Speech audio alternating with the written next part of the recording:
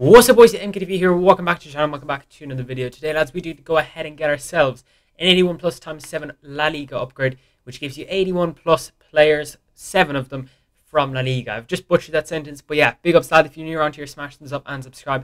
And without further ado, lads, let's get straight into things. Looking at the actual squad itself and stuff, it doesn't look too bad to be fair. It is an 84 rated squad with 45 chemistry. This is the, team and stuff I've used. You don't have to use the same team, but you can go, you know, you can use it if you really, really wish to as well.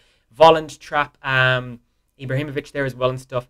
Boateng isn't too bad as well. Uh, 82, 84 there. Luis Alberto, Idrissa Gueye, Barella, Sirigu, Rui Patricio, Zapata, and also a Campos. Again, you can use the players in the positions, whatever you want to do, lads. And yeah, let's get straight into things. Is it going to be worth it, lads? Smash thumbs up and subscribe if you're new around here, and let's get straight into things.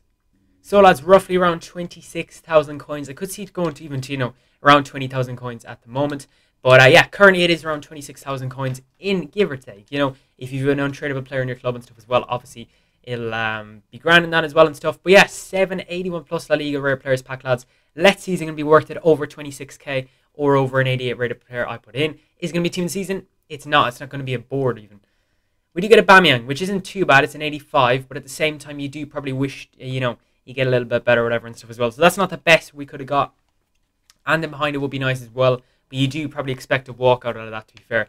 Is that an 84 rated squad? I would say no. So do I think this SBC for me was worth it? Probably not. But again, that could vary on the person and stuff as well, lads. It kind of does depend and stuff as well. But yeah, I do probably think it is worth, you know, giving a go and stuff as well. See what you think of it. Um, but unfortunately, lads, that really, really wasn't worth it for myself, to be fair. But yeah, we did get a duplicate Aubameyang. Hopefully he's tradable.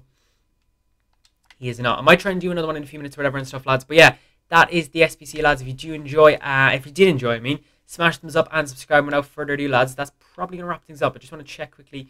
Yeah, it is repeatable only once. So you can only do once in three days, lads. Thank you very much for watching. If you did enjoy, smash thumbs up and subscribe. Let me know if you got it. You know, what have you got out of yours? And uh, I'll catch you boys next time with another video. Peace.